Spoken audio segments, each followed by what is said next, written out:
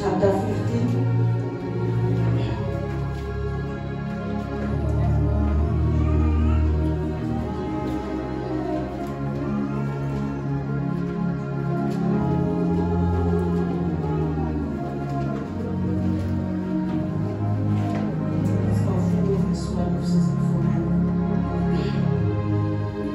uthi mna ndingumdiliya wenyaniso umlimi wawo ke ngubawo amasebe onke akuni angathwali isiqhamo uyawasusa onke atha- athwala isiqhamo uyawathena ukuze athwale isiqhamo ngakumbi.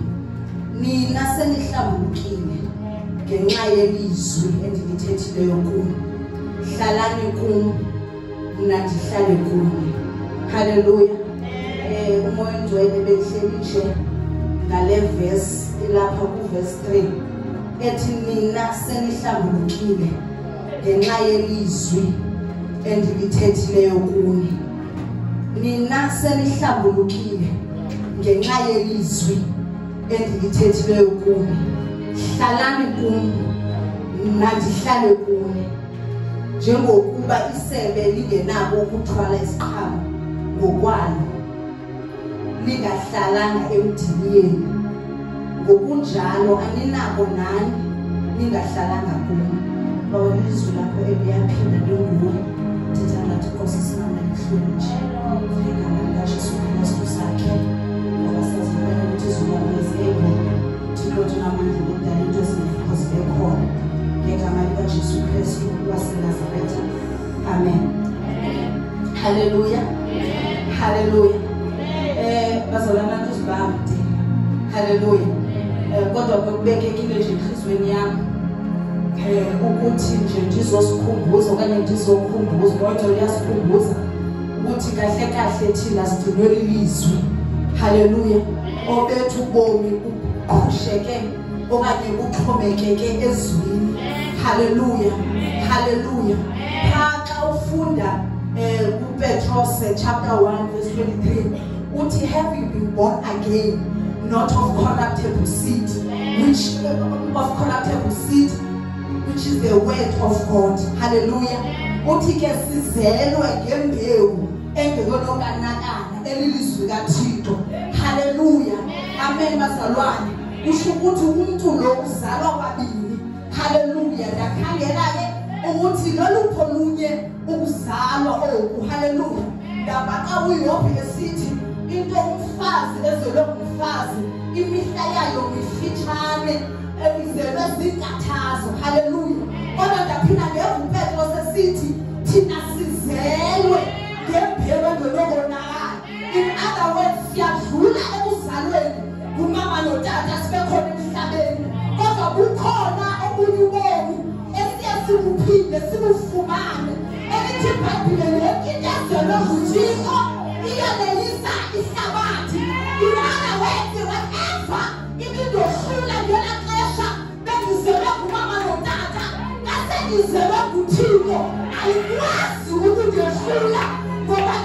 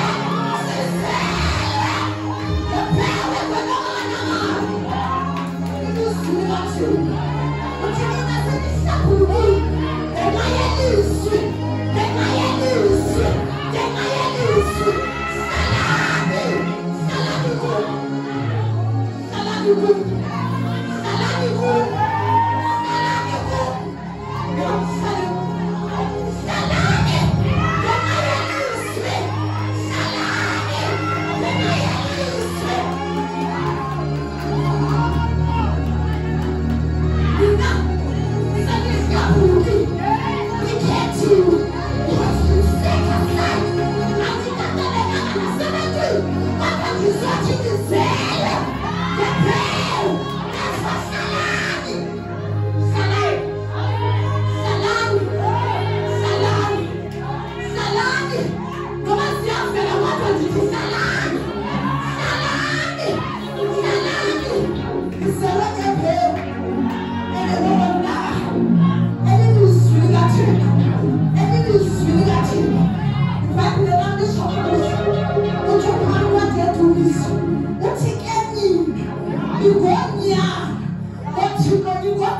ngomnyana ethixo senyangweni uthixo uyawuza uthixo hallelujah! uzala umntu ohaleluya kuba uthixo wathetha ngezwi kungekho nto emhlabeni nawe yona ephilithi